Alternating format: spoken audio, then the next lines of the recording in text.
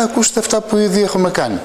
Ε, παρόλο το μικρό διάστημα που είναι μόλις τρεις μήνες και ακόμα είμαστε στο πρώτο διάστημα της λειτουργίας Δημοτικής Αρχής, μια από τις πρώτες μας επιλογές ήταν με τον αρμόδιο αντιδήμαρχο να επισκεφθούμε το, την έδρα της ε, Εγνατία Aviation, να ενημερωθούμε από τους ιδιοκτήτες της, να περιηγηθούμε στις εγκαταστάσεις και βέβαια να στείλουμε ε, σε συνεργασία μαζί τους, έτσι να στείλουμε την υποστηρικτική μας επιστολή προς τα αρμόδια όργανα και τα Υπουργεία, προκειμένου να διασφαλίσουμε την επέκταση των δραστηριοτήτων της εταιρείας ε, στο αεροδρόμιο της Κοζάνης.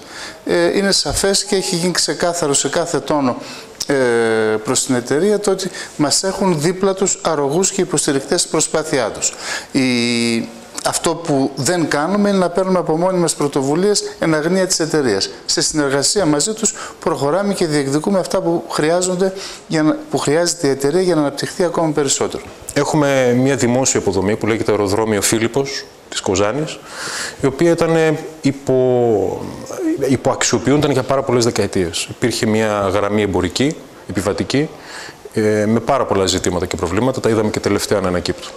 Εδώ και περίπου 2-2,5 χρόνια ε, δραστηριοποιείται στον χώρο του αεροδρομίου Γνατή Aviation. Μια πολύ σημαντική επένδυση, η οποία άλλαξε ε, και τον τρόπο με τον οποίο λειτουργεί το αεροδρόμιο. Θα έλεγα ότι έχει βάλει την Κοζάνη στον χάρτη της Γενικής Αεροπορίας. Η πρότασή μας σήμερα δεν είναι να συζητήσουμε το τι έγινε, αλλά να δούμε τι μπορούμε να κάνουμε. Οι, οι προοπτικές για την ανάπτυξη του αεροδρομίου είναι πάρα πολύ μεγάλες. Αυτό που προτείνουμε να γίνει ένα αεροδρόμιο γενικής αεροπορίας, ούτως ώστε ε, να μπορέσει να φιλοξενήσει και άλλου είδους παρόμοιες με, την, ε, με τις Αγνατία Aviation επενδύσεις, να αναπτυχθεί στο μέγιστο βαθμό, να προσελκύσει ε, ιδιώτες επενδύσεις που θα επιθυμήσουν να επενδύσουν στην περιοχή, η Κοζάνη να μπει στο χάρτη να αποκτήσει, αν θέλετε, μια νέα ταυτότητα ως ε, κέντρο της γενικής αεροπορίας σε όλη την Ελλάδα.